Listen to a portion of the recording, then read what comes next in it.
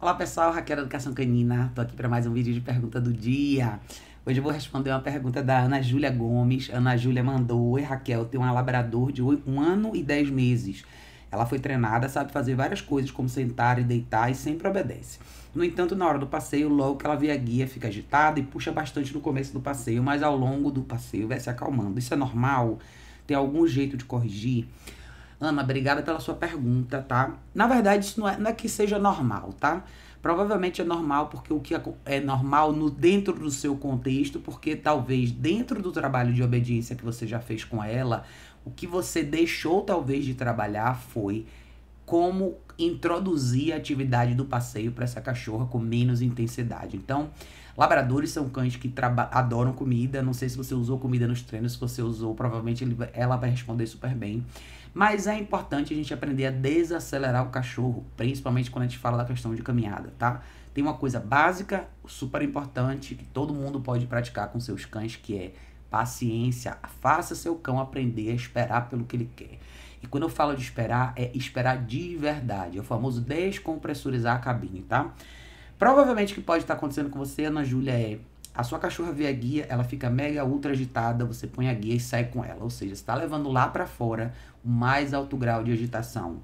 Então, de uma forma ou de outra, você está passando para ela uma mensagem, mesmo que inconsciente, que é: é isso mesmo que eu quero, eu quero que você se agite, se empolgue para sair. Quando na verdade não é isso que você quer. Então, o que é que você precisa fazer? Comece a condicionar a sua cachorra que a guia é uma coisa normal. Pegue a guia, ande com a guia na mão pela casa, não coloque a guia nela em situação nenhuma, a menos que ela esteja calma. Agora, o que, é que vai acontecer? Comece esse exercício num dia que você tenha tempo, ou seja, que não tenha hora para acabar, você não tenha nenhum compromisso daqui a 15 minutos ou daqui a uma hora, porque você vai ter que esperar, tá? Você vai ter que esperar essa cachorra se acalmar completamente para que você coloque a guia nela. Uma vez que você coloque a guia nela, muito provavelmente ela vai se agitar de novo. Então o que, é que você vai fazer? De novo você vai esperar ela se acalmar completamente. E eu acho que nesse momento do cachorro se acalmar, as pessoas se confundem bastante porque elas entendem que se o cachorro estiver fisicamente parado, ele está calmo. E não é necessariamente isso. Prestem bastante atenção na linguagem corporal, o cachorro que respira com muita intensidade, que está com os olhos muito alerta, que está com o corpo muito alerta, que o rabo não para de balançar. Então, o que você quer é ver isso diminuir, tá? Você muito provavelmente vai se ver numa situação onde você vai ficar 40 minutos com o seu cachorro na guia antes de botar a mão na maçaneta da porta para sair. Isso faz toda a diferença, tá? Nessa hora, o segredo é você se manter calma, coloque uma música para você ouvir, faça de tudo para que você seja a melhor fonte de calma e paciência para esse cachorro. Labradores tendem a ser cães mais empolgados, mais agitados, mas eles também são cães muito espertos para aprender, então aprendem super rápido. As suas primeiras sessões vão ser mais demoradas, mas uma vez que ela entenda essa mensagem, o que ela precisa associar é que sair também representa calma, também representa tranquilidade. Labradores não são cães com muita resistência física. Eles são mega empolgados, mas eles são cães mais pesados, logo eles cansam mais rápido. Então você vai perceber que muito desse trabalho é realmente mental. Você mesma disse que ela sai mais empolgada, depois ela se acalma, mas o que é está acontecendo? O ciclo está se repetindo, então ela está sempre saindo agitada. A calma dela, na verdade, acontece porque ela não consegue sustentar esse estágio de adrenalina por muito tempo, então eventualmente ela relaxa. E não é isso que você quer, você quer que ela relaxe já no início do processo. Então pegue um sábado, um domingo, um dia que você não tem absolutamente nada para fazer. Pegue ela e faça esse exercício. Começa com você pegando a guia, toda a agitação dela, você vai esperar ela se acalmar. Depois que ela se acalmar, você vai pôr a guia nela. Uma vez com a guia nela, ela também vai se acalmar. Ela tem que se acalmar quando você abrir a porta. De novo, você tem que exigir o mesmo grau de relaxamento até que realmente você consiga ir para a rua esse exercício é chave pra gente, exige muito de, de nós aí nessa hora, é muito da nossa paciência, da nossa habilidade de persistir no que a gente quer até o fim.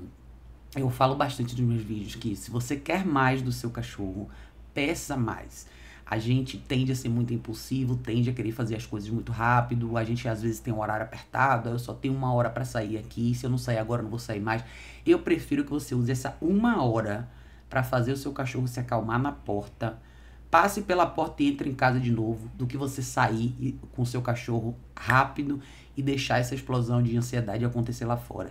Senão, se você continuar fazendo errado, o ciclo só tende a se repetir. Então, resumindo para você, não, não é normal, tá? Isso é condicionamento, é um condicionamento que ela criou. Ela entende que toda vez que ela faz isso, ela sai.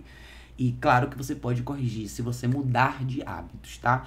Uma dica legal para você, Ana Júlia, é tente ter uma relação menos menos adrenalizada com seu cachorro. Não sei se é o seu caso, tá? Mas muita gente tem. Quando eu falo de relação adrenalizada com o cachorro, a gente tende a conversar muito com o cachorro, pegar muito no cachorro, fazer muita festa com o cachorro, tá sempre engajando e brincando.